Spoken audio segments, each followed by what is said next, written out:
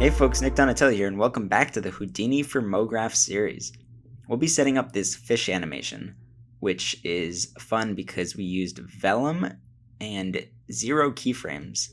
Um, I thought it was uh, cool to see just a completely procedural character type of animation. So let's just get into this one. But before we get into that, just a quick shameless self promotion. I recently opened up a shop on my personal site selling art prints. These were all made using Houdini, so check them out and grab one if you want to support these tutorials. Thanks. We'll start with the body. So make a line, changing the direction to 1 in the x and 0 in the y, and then turn up the points to 30. Next, make a UV texture node set to rows and columns and the class to points. And now we're going to get just a base movement. So drop a transform and type sine, open parentheses, dollar $f times 10, close those parentheses, and times 0.15 in the z. And this is going to give us some back and forth motion. And just to have a little bit of variety going up and down, I'm going to copy and paste that into the y. But I'm going to change the 10 to 5 and the 0.15 to just 0.02.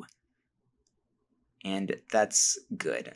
Now, one thing for the sim, we wanted to start at the origin, mostly for creating the tail, which we're going to get to later. So to do this, um, I'm going to do a blend shape and wire in the geo from before the transform as the second input. And then in the blend, I'm going to type fit, open parentheses, dollar $f, comma, 1001, comma, 1011, comma, 1, comma, 0, and close those parentheses. And this will just blend it smoothly over the first 10 frames to, before it starts animating. Next, I'm going to make a group node and name it pin and change the type to points and type 0 as the base group. And this will make sure our front of the body stays in place. And now we're going to make a vellum constraints node and a vellum solver node.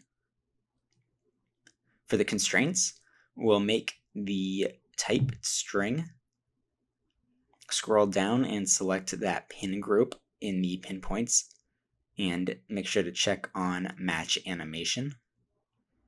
And now if you hit play, you see it just kind of falls. And so in the solver forces, I'm going to first change the gravity to zero and then add two in the X wind. Now, I think it's a little too wiggly for what I want. So in the constraint, I'm going to change this tangent drag to two. And that feels better to me. Um, but feel free to mess around with these constraint settings to get different looks. Perhaps you're doing a longer, more snake-like type of fish, whatever it is you need. Um, you'll be adjusting, say, this drag or potentially the bend stiffness. And now I'm going to skin this. So drop a poly wire node. And we want to change the shape along the curve. So before this, I'm going to add a point VOP and dive inside. In here, I'm going to do a vector to float on the UV that we set up and attach a ramp to the X and I'm going to change the type to spline and then I'm going to do a multiply after that and middle mouse on the input and do attribute promote so that the multiplier is on the outside and now I'm going to do bind export and type in p scale. Now in the polywire radius I'm going to also type at p scale and I'm going to also change the divisions to point or to 8. And now I'm going to mess with the ramp and the multiply, which I'm going to set around 0.2 and just change the ramp so that we have a nice curve along our fish body. I use the B-spline type instead of just a linear spline. And there's our body. In the project files, I did this a bit differently. Um, if you want to dive in there, it just is a method that gets you cleaner UVs than this, but this way is just a little faster. So now we're going to do the tail of our fish. So go to frame one and do a separate strand from the sim and make a polyframe node.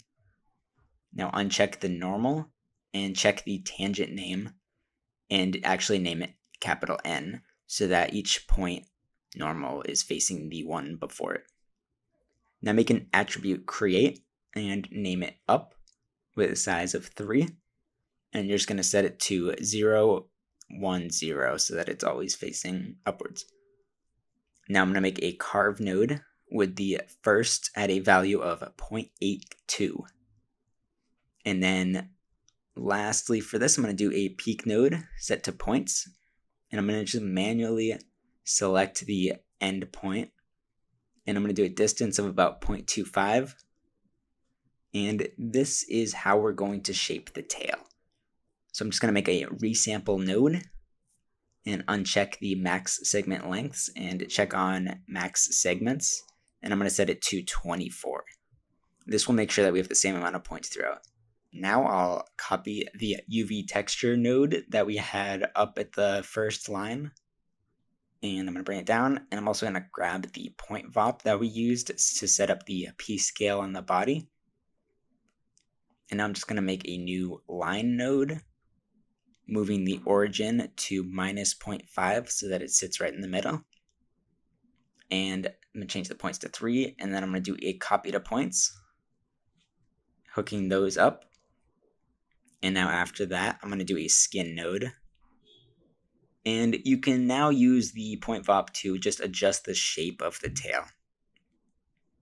Mess around until you find something you like. You can get something a little more curvy, whatever it is. And once you're happy with it, make a time shift, deleting the expression and just typing 1001 so that you freeze on the first frame. And then I'm going to make a remesh with a size of 0.035. And I'm going to bring up the smoothing for the edges. And this is just so that we have more evenly spaced, nice clean uh, geometry for the cloth sim, which we're going to get into. But first, make a group named pin again, also changing it to points.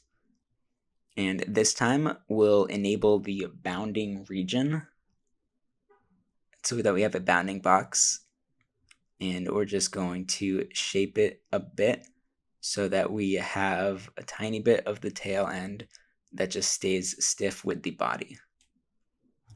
Now we're going to make a point deform and attach the second input to the frame hold we above and then the third to the node above that so that we have the cloth now deforming. And now it's time for the actual simulation. For this, it took a lot of fidgeting with stiffness and wind to get the right values. So I'm just going to give you my values, but I encourage you to mess around with them on your own so that you understand what each one is actually doing. So again, make a vellum constraints and a vellum solver. Now change the constraints to cloth and select the pin group, checking on matched animation. And in the solver forces, I'm going to change the gravity to zero again and the wind to 1.4 in the X. Also adjusting this wind drag to be 0.4. Now hit play, and you can see we have a fishtail. Now for me, it loses too much of the initial shape. Um, so how I'm to counter this is in the constraints. The way I found worked was I changed the tangent drag all the way up almost to 10 and then the stretch dampening ratio became 0.01 and the bend stiffness became 5 with the dampening here being 0.1 now just do a vellum post process with the spatial blur cranked and check on extrude by thickness to make it not perfectly flat anymore drop a merge node with the body. And now, last thing I did is just if you drop a time shift and type dollar $f plus 100 so that we skip those beginning frames where it's moving from the origin into its animation. You hit play, and there you have our zero keyframe vellum fish wiggle. You can download the original project files on the site if you want to dive further into this one. As always, would love to hear from you in the comments if there's any effects you'd like to see tutorials for in the future. Hope you enjoyed this one, and until next time.